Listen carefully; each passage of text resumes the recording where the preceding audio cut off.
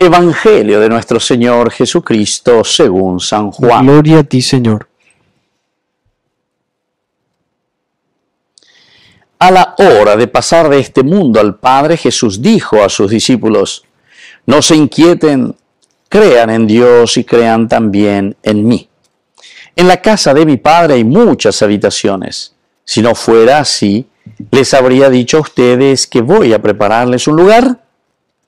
Y cuando haya ido y les haya preparado un lugar, volveré otra vez para llevarlos conmigo, a fin de que donde yo esté estén también ustedes ya conocen el camino del lugar a donde voy. Tomás le dijo, Señor, no sabemos a dónde vas. ¿Cómo vamos a conocer el camino? Jesús le respondió, Yo soy el camino, la verdad y la vida. Nadie va al Padre sino por mí. Palabra del Señor. Gloria a ti, Señor Jesús. Queridos hermanos, aquí comenzamos con esta frase también tan interesante, lapidaria decimos nosotros, ¿verdad? Lapidaria significa eso que tiene que quedar grabada en el mármol, ¿verdad? La lápida de los muertos, o sea, queda por la eternidad. Usted con la dice la frase lapidaria. O peña de la eh, para nuestra comunidad, para nuestra familia. ¿Y cuál es? Y este que Jesús dice, no se inquieten, no se inquieten. Parece que es imposible, ¿verdad? Cumplir esta palabra, el no inquietarse ante situaciones, problemas, tantas cosas que van sucediendo en nuestra sociedad. Problemas económicos, problemas políticos, problemas coyunturales que existen, ¿verdad? Pero la palabra que nos dice, no se inquieten aquí nos inquietamos, nos preocupamos, tenemos miedo de muchas cosas, en muchas circunstancias, pero un a hacer yo que... Y justamente porque aquí nosotros no nos aferramos verdaderamente a Dios. O sea, ante la incerteza nos cuesta aferrarnos plenamente y totalmente al Señor. Y parece que mientras estamos bien, ñandere sara yo hija, tu peñan de yara, lleva. Tena ñaime ponano hina de yara ñande ay y ñande bueno sean generosos, sean amables, preocúpense los hermanos, etcétera, etcétera. Ñande ñaime ponana ya, ñande de sara y se veña de la visa, peña de yo que Vea la famosa frase, no me moleste mosquitos, no me moleste mosquitos. O sea, ve y me pone interés, ni a ver, yo a ver ese zumbido que me vas a hacer aquí porque me molesta, a ni, a ni yo. Y entonces solamente en los momentos de dificultades nos encontramos con estos problemas. Ahora el Señor cuando nos está diciendo que no nos inquietemos es para darnos a entender que la presencia de Dios es una presencia constante y tenemos que darnos cuenta en las buenas y en las malas. Así como decimos, ¿verdad? En el momento también las parejas del matrimonio, ¿verdad? Prometo serte fiel en las alegrías y en las penas, en la salud y en la enfermedad, etc. Bueno, esa misma frase o ese mismo contenido teológico también de compromiso es lo que el Señor hoy nos está invitando a llevar adelante. Crean en Dios y crean también en mí. Es decir, cuando Jesús nos está hablando de un adherirse a Dios es a través de un adherirse a través de su evangelio. Crean en mí. Pero viabio bebeñan de yara lleva.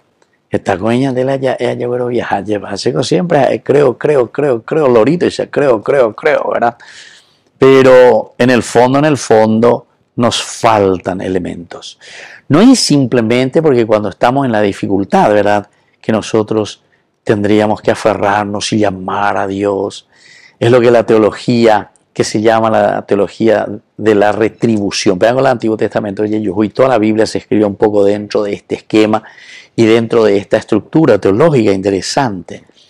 Pero ahí primero te presenta eh, todo, este, alegría, todo bien, pero de repente apenas nosotros comenzamos a hacer el mal, comenzamos a desprestigiar la misma obra de Dios, somos nosotros que libremente estamos asumiendo eso, entonces comienza lo que nosotros le llamamos las consecuencias de ese mal. Opea peñandeña pues era castigo, opea la, la teología de la retribución. Opea me este cuñandeña y esa peaña pero ya pura ya ya sapucaya lleva allá ñandillara ñandillara clamaron a Dios.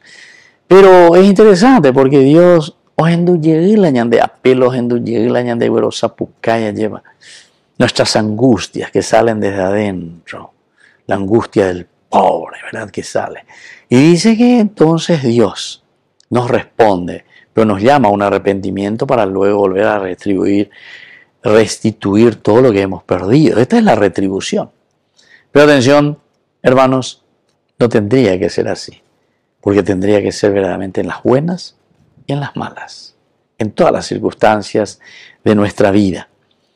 Y por eso, cuando haya ido y les haya preparado un lugar, volveré otra vez para llevarlos conmigo. La certeza nuestra que el Señor entonces está en ese momento de nuestra tribulación.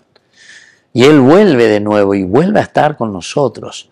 Y llegó con en este tiempo de Pascua. Y como tiempo de Pascua tenemos que siempre saber que si Dios vuelve a la vida, a la resurrección, es porque el Señor vuelve a caminar con nosotros de una manera diferente, donde nos pedirá ahora a nosotros como comunidad a darnos cuenta. Ya esa pea, ya esa cuaja, guanga, ña puruya, eh, ñandillara, baisha paro ya pota la orera pemi. Baisha paro guatabana ñandillara. Iga tu hanguaisha, yepa, roya popona vender yerurea ore.